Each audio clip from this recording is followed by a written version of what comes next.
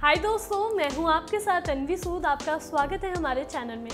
महेंद्र बाहुबली बनकर जहाँ टॉलीवुड के सुपरस्टार ने हर किसी का दिल जीता, वहीं अब साहो के ज़रिए वो धमाका करने के लिए भी तैयार बैठे हैं। हाल ही में जब फ़िल्म का ट्रेलर सामने आया तो आपने भी यही सोचा होगा कि एक बार फिर प्रभास बॉक्स ऑफ़िस पर छाने वाले हैं। श्रद्धा के साथ उन्होंने पहली बार काम किया है, लेकिन फिर भी दोनों की केमिस्ट्री देखने लायक है।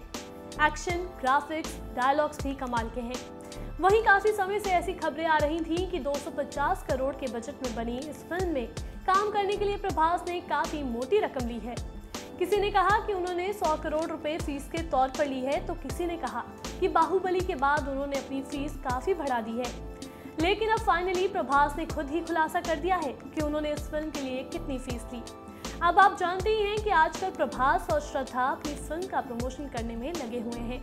वहीं हाल ही में प्रभास ने एक इंटरव्यू के दौरान कहा कि बाहुबली ने काफ़ी ऊँचा स्तर बना लिया था, लेकिन साहू का बजट 250 करोड़ रुपए था। इसलिए मुझे पता था कि मैं इस फ़िल्म के लिए ज़्यादा फ़ीस नहीं ले सकता। इसीलिए मैंने अपनी फ़ीस में 20 फ़ीसदी की कटौती की। इसके बाद फ़िल्म थोड़ा और ऊँचे स्तर पर गई और मेरे दोस्त मुझे ज़्यादा फ़ीस देने के लिए तैयार थे, लेकिन मैं उनका पैसा नहीं ले सकता था। खासकर ये जानकर कि वो नहीं जानते कि ये फ़िल्म कितना कमा पाएगी। इसके बावजूद उन्होंने इसे काफ़ी कुछ दिया है। तो अब आप समझ गए होंगे कि प्रभास ने इस फ़िल्म के लिए अपनी फ़ीस बढ़ाने के बजाय घटाई है।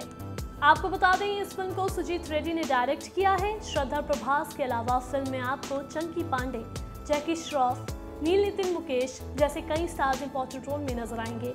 और ये फ़िल्म 30 अगस्त के मौके पर हिंदी के अलावा तेलुगु और तमिल में भी रिलीज़ होगी।